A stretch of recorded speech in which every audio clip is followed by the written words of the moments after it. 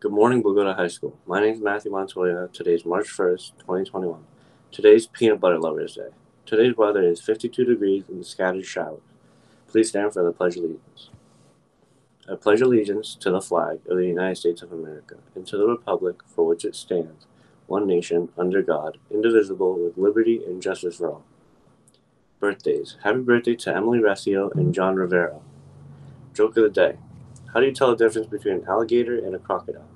You'll see one later and one in a while. Would you like your joke read on the morning show? Send along with your name and grade level to Ms. Crignola at acrignola at bogotaboe.com. Please subscribe to Bogota Buck Nation on YouTube.